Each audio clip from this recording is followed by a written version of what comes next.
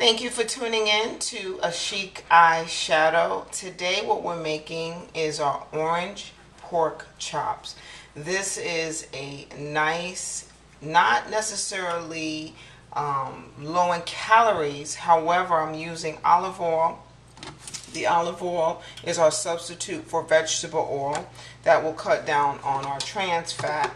We're going to take our pan that's already on a medium temperature and we're going to put about two tablespoons of our olive oil in there.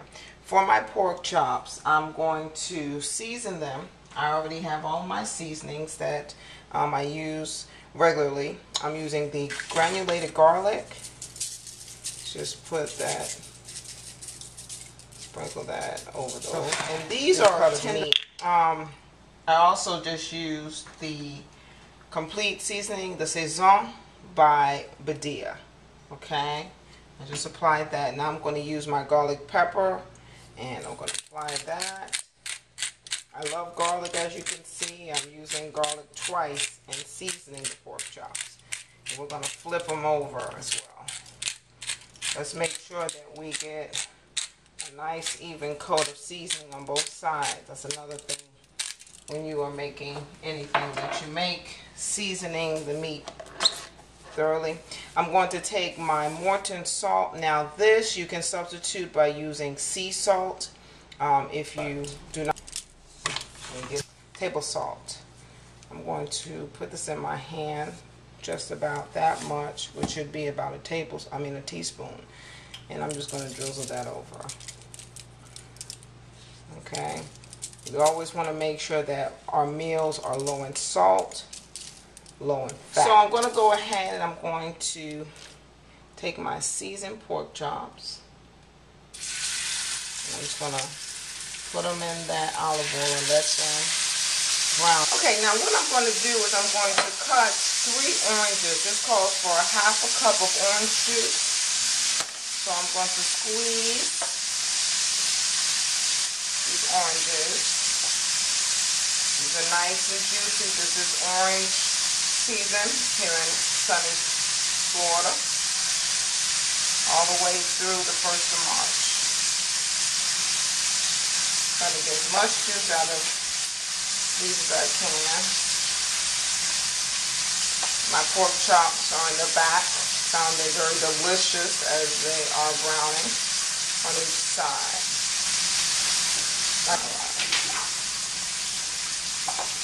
Now we just want to make sure that after we squeeze these oranges, don't get rid of the orange halves that you cut. Just set them aside. This is going to be a delicious meal. And believe it or not, if you use a juicer, you probably get a whole cup of orange juice out of three oranges. Me squeezing it like this, I'm not getting as much out. Okay? Okay, and as you can see, I have the pork chops and they are browning on both sides.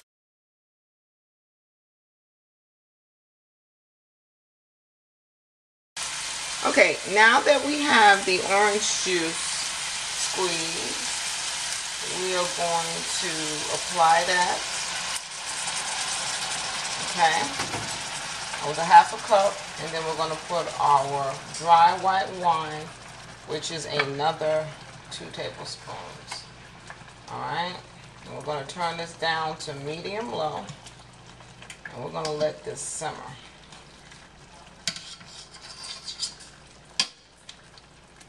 It smells absolutely delicious. Okay. So we're going to let this simmer for about 15 minutes until the pink is no longer in the meat. I'm going to cover this. Okay. And we'll be back after that's done. Okay, now what we're going to do is thicken up our sauce. I've already taken two tablespoons of our cornstarch and two tablespoons of our water. And I've whisked that together. And I'm going to put it in our seasoned stock from when we just made the pork chops. I have it on low heat and I'm just going to take a fork. You can take a fork or you can take a whisk, wire whisk. And you're just going to make sure that this gravy is evenly stirred or whisked together. Okay? Now mine is already started to thicken up. So I'm going to turn this heat off. You're going to put your pork chops back in the gravy. And I'll show you the finished meal. Okay, here we are and we're going to make our summer squash and zucchini dish. Right now I have some garlic and onions simmering with the butter. And I'm going to apply a little bit of olive oil because I'm going to put the zucchini slices in. Zucchini and squash slices. More so just zucchini. You can use zucchini and summer squash if you like. Or one or the other alone. You don't have to use both. Okay? You're going to let it simmer. Not simmer as much as we say, but you're going to cook it on the low heat, medium low heat. And you're leaving the onions and the garlic in the pan. Now, I allow my onions to cook on a low heat for about three, four minutes. Then I put my garlic in. For your onions, you want to cook them until they're like translucent. Alright, then I'm just going to let that cook.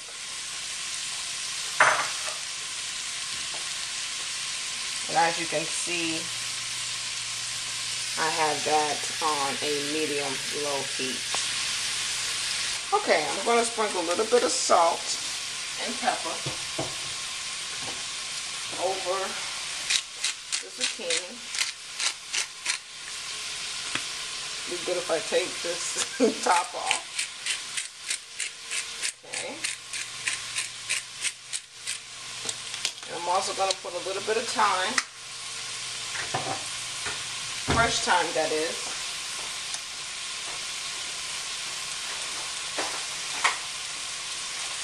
Take a little bit of thyme and put it on there. thyme is one of those that I love. You cook it it just changes the whole meal itself. The flavor. Okay. So I'm sprinkling that on. And I have my herbs over here, uh, my dry herbs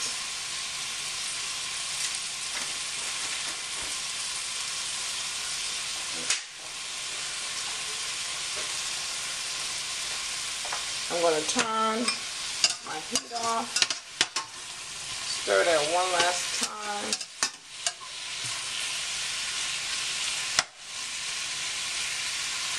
Now the oven should be on 350, preheated already. Hmm. Now I'm going to put my zucchini in a glass pan. What you want to do is you want to take some butter and spread it inside that pan as so. Okay. And then you're going to take the spatula and you're going to just put your zucchini in like that. And move this a little bit closer. Now, this dish is very rich um, with the butter as you can see um, as well as the cream that we're going to use. We're going to be using cream and egg. You're going to use four eggs. If you don't want as much cholesterol, you can use two. You can also use a substitute for egg. They sell that at your local grocer. Okay. Make sure to take my heavy whipping cream. Make sure that it is heavy. Has to be heavy. And I'm going to do one cup. Okay. I'm also going to take my large eggs. I'm going to use four. Like I said, if you don't want to use four, if you only want to use three, or if you only want to use two, you can. It is up to you. And a lot of people may be watching their cholesterol. We already have butter in this, so as you can see, it is very rich. And some people might say uh, fattening. I'm just taking a blade to the, or the blade. I know some might be saying, wait a minute, you're taking a blade to blend this? It's from the blender, mixing blender blade. I'm going to pour it right over this. And you're going to move your zucchini around so the mixture gets in good. Okay. Get all of that in there. All right. And now that I have it like this, I'm going to put it in the oven. Put it in the oven for 50 minutes. This, this minute. Okay, here is the finished zucchini and summer squash casserole. I have sprinkled some of the Parmesan cheese over it. And we're going to serve this along with the orange pork chop and the yellow rice. Okay, everyone, this is the finished meal. We have the orange pork chop, yellow rice, and the summer squash zucchini casserole. And I've used my parsley as a garnish. This meal would be more on the higher calorie side. This is not something that I would eat on a regular basis because it is very high in calories. However, this is something nice that you can make for your New Year's dinner, something nice for the holidays. Uh, so hopefully you enjoyed. If you have any questions, just uh, leave a comment. Leave a question in the comment section. Rate, subscribe if you enjoy. Thank you for watching. Eye Shadow. Tchau!